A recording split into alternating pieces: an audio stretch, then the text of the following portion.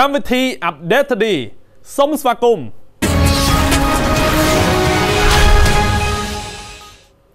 អង់គ្លេសបដិសេធបញ្ជូនទាហានរបស់ខ្លួនទៅអ៊ុយក្រែននាយករដ្ឋមន្ត្រីអង់គ្លេសលោករីស៊ីស៊ូណាកាលពីថ្ងៃអាទិត្យបានច្រានចោលផែនការមួយពាក់ព័ន្ធនឹងការបញ្ជូនទាហានអង់គ្លេសទៅកាន់ទឹកដីអ៊ុយក្រែន លោកស៊ូណាបាននិយាយថាការផ្ដល់អនុសាសន៍របស់រដ្ឋមន្ត្រីការពារជាតិលោក Grant Shep ដែលលើកឡើងថាទាហានអង់គ្លេសអាចនឹងទៅបណ្ដុះបណ្ដាលកងកម្លាំងអ៊ុយក្រែននៅទឹកដីអ៊ុយក្រែនផ្ទាល់នោះគឺជាការរាយការណ៍ខុសតែប៉ុណ្ណោះ ចំណែកអតីតប្រធានាធិបតីរុស្ស៊ីលោក Dmitry Medvedev បានប្រមានថា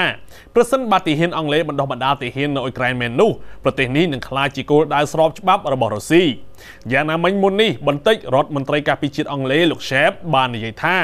ការដាក់ចេញជំនួយផ្នែកយោធារបស់ទីក្រុងឡុងដល់អ៊ុយក្រែនគឺមានប្រសិទ្ធភាពជាងការអនុវត្តជំនួយនៅចក្រភពអង់គ្លេស រដ្ឋមន្ត្រីការពារជាតិអង់គ្លេសលោក Grant Shep បានបញ្ជាក់តាម Telegram ថាកិច្ចពិភាក្សាកំពុងធ្វើឡើងជុំវិញការពង្រីកកម្មវិធីវឹកវើដែលដឹកនាំឡើងដោយអង់គ្លេសសម្រាប់ទីហ៊ានអ៊ុយក្រែនហើយការដែលទីក្រុងឡុងបញ្ជូនទីប្រឹក្សាយោធាទៅកាន់ប្រទេសអ៊ុយក្រែននោះពិតជាអាចសម្រេចទៅបាន។ លើពីនេះទៀតអង់គ្លេសក៏អាចនឹងគ្រប់គ្រងកងទ័ពជើងទឹកអ៊ុយក្រែននៅសមុទ្រខ្មៅទៀតផងខណៈលោក Shep បានបញ្ជាក់ថាបច្ចុប្បន្នយើងកំពុងពិភាក្សាអំពីការនាំយកកម្មវិធីបណ្ដុះបណ្ដាលទៅកាន់អ៊ុយក្រែនហើយ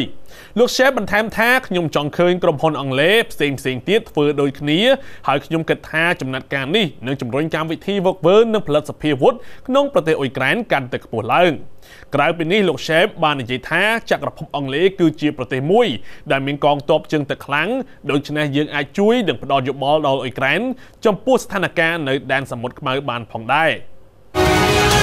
កូរ៉េខាងជើងចោទប្រកាន់ទីភ្នាក់ងារនុយក្លេអ៊ែររបស់ UN ថាជាអ្នកនាំពាក្យរបស់អាមេរិក។ ប្រទេសកូរ៉េខាងជើងកាលពីថ្ងៃច័ន្ទបានបរិហាក្រុមឃ្លាំមើលបរិមាណូរបស់អង្គការសហប្រជាជាតិចំពោះការចូលរួមក្នុងយុទ្ធនាការដាក់សម្ពាធដែលដឹកនាំដោយសហរដ្ឋអាមេរិកនិងការដាក់ចេញដំណោះស្រាយរបស់អង្គការសហប្រជាជាតិលើកម្មវិធីនុយក្លេអ៊ែររបស់ខ្លួន។ អ្នកនាំពាក្យនៃក្រសួងឧស្សាហកម្មធម្មពលនុយក្លេអ៊ែររបស់ទីក្រុងភ្ជុងយ៉ាង បានចេញសេចក្តីថ្លែងការណ៍រិះគន់ដំណោះស្រាយរបស់អង្គការសហប្រជាជាតិដែលបានអនុម័តកាលពីថ្ងៃសុក្រនៅឯសន្និសីទទូទៅរបស់ទីភ្នាក់ងារធម្មពលបរមាណូអន្តរជាតិ IAEA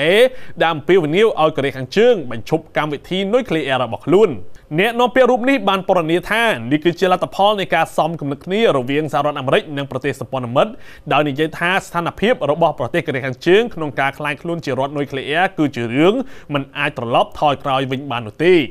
យោងតាមប្រព័ន្ធផ្សព្វផ្សាយរដ្ឋ KCNA បានបន្ថែមថាទង្វើរបស់កងកម្លាំងអរិភាពនេះគឺជាការបង្ហាញពីចេតនាដ៏អាក្រក់របស់ពួកគេដើម្បីបិទបាំងនៅអំពើឧក្រិដ្ឋកម្មរបស់ខ្លួនដែលព្យាយាមគំរាមកំហែងយ៉ាងធ្ងន់ធ្ងរដល់ប្រព័ន្ធទប់ស្កាត់ការរីកសាយភាយអាវុធនុយក្លេអ៊ែរជាអន្តរជាតិនិងបង្ហាញថាគោលនយោបាយអរិភាពរបស់ពួកគេចំពោះកូរ៉េខាងជើងគឺជារឿងត្រឹមត្រូវទៅវិញ អ្នកនាំពាក្យកូរ៉េខាងជើងក៏បានចោទប្រកាន់ប្រធាន IAEA លោក Rafael Grossi ថាបានដឹកនាំបង្កើតបញ្ហាដាក់សម្ពាធលើកូរ៉េខាងជើងដោយផ្សព្វផ្សាយរឿងមិនពិតអំពីការសាកល្បងនុយក្លេអ៊ែរនៅពេលឆាប់ឆាប់ខាងមុខផងដែរជាស្ដែងលោករ៉ូស៊ីបានប្រមានការពីឆ្នាំមុនថាប្រទេសកូរ៉េខាងជើងអាចបន្តការសាកល្បងអាវុធនុយក្លេអ៊ែរឡើងវិញជាលើកដំបូងចាប់តាំងពីឆ្នាំ2017មកអ្នកនាំពាក្យរូបនេះបានលើកឡើងថាប្រសិនបើ IAEA ចង់បញ្ជាការរិះគន់ពីអន្តរជាតិក្នុងនាមជាអ្នកនាំពាក្យរបស់សហរដ្ឋអាមេរិកនោះខ្លួនត្រូវតែណែនាំឲ្យធ្វើការដោះស្រាយផលលំបាកផ្សេងៗដែលសហគមន៍អន្តរជាតិកំពុងប្រឈមដោយយកទៅលើវិធានការទប់ស្កាត់ការរីកសាយភាយអាវុធនុយក្លេអ៊ែររបស់សហរដ្ឋអាមេរិកនិងការបញ្ឈប់ការបញ្ចេញទឹកកខ្វក់ពីប្រទេសជប៉ុនរបស់រោងចក្រនុយក្លេអ៊ែរ Fukushima ដែលបានបំផ្លាញភាវៈរស់ក្នុងសមុទ្រក្របបីអត្តឃាតវីប្រហារប៉ាគីស្ថានសម្រាប់មនុស្ស59នាក់គណៈរដ្ឋមន្ត្រីចោតឥណ្ឌានៅពីក្រោយរឿងនេះ ចំនួនអ្នកស្លាប់ដោយសារការបំផ្ទុះគ្រាប់បែកអត្តឃាតដ៏ធំនៅវិហារអ៊ីស្លាមមួយក្នុងប្រទេសប៉ាគីស្ថាន បានកើនឡើងដល់59នាក់ហើយកាលពីថ្ងៃសៅរ៍គណៈរដ្ឋាភិបាលបានបដិញ្ញាស្វែងរកជនដៃដល់និងបានចាប់ប្រកាន់ទីភ្នាក់ងារស៊ើបការសម្ងាត់របស់ប្រទេសឥណ្ឌាថាមានជាប់ពាក់ព័ន្ធក្នុងរឿងនេះទៀតផងការបំផ្ទុះគ្រាប់បែកនៅចុងសប្តាហ៍នេះបានវាយប្រហារវិហារអ៊ីស្លាមមួយក្នុងទីក្រុងម៉ាស្តាំងក្នុងខេត្តបាឡូជីស្ថានភូមិខាងត្បូងបន្ទាប់ពីអ្នកបំផ្ទុះគ្រាប់បែកម្នាក់បានវាយប្រហារជិតរថយន្តប៉ូលីសដែលមនុស្សកំពុងប្រមូលផ្ដុំគ្នាច្រើនដើម្បីដង្ហែក្បួនប្រារព្ធពិធីខួបកំណើតរបស់បុព្វការីមូហាម៉ាត់ ក្នុងនោះដែរមន្ត្រីប៉ាគីស្ថានបានអះអាងជាយូរមកហើយថាឥណ្ឌាបានឧបត្ថម្ភប្រាក់ដល់ក្រុមបង្កហិង្សានៅក្នុងប្រទេសប៉ាគីស្ថានហើយការអះអាងនេះតែងត្រូវឥណ្ឌាបដិសេធម្ដងហើយម្ដងទៀតរដ្ឋមន្ត្រីមហាផ្ទៃប៉ាគីស្ថានលោកសា Facebook ទីបានប្រាប់ប្រព័ន្ធផ្សព្វផ្សាយក្នុងរដ្ឋបាឡូជីស្ថាននាទីក្រុងខ្វេតាថាមន្ត្រីស៊ីវិលយោធានិងស្ថាប័នផ្សេងៗទៀតទាំងអស់នឹងធ្វើកតកម្មរួមគ្នាប្រឆាំងនឹងហេតុការណ៍ដែលពាក់ព័ន្ធនឹងការបំផ្ទុះគ្រាប់បែកអត្តឃាតនៅក្រុងម៉ាស្តាំងនេះលោកបានបន្ថែមថាក្រុម RAW ជាប់ពាក់ព័ន្ធក្នុងការវាយប្រហារអត្តឃាតនេះដោយក្នុងនោះលោកសម្ដៅទៅលើទីភ្នាក់ងារស៊ើបការសម្ងាត់ស្រាវជ្រាវនិងវិភាគ RAW របស់ប្រទេសឥណ្ឌា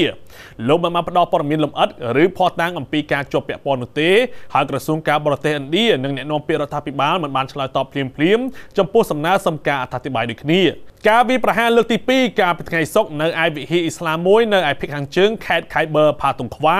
បានសម្លាប់មនុស្សយ៉ាងហោចណាស់5នាក់ហើយប៉ូលីសកាលពីថ្ងៃសៅរ៍បានដាក់ចេញរបាយការណ៍មួយដើម្បីបើកការស៊ើបអង្កេតដោយនិយាយថាពួកគេបានបញ្ជូន DNA របស់អ្នកវាយប្រហារដោយគ្រាប់បែកអត្តឃាតនោះដើម្បីធ្វើការវិភាគហើយ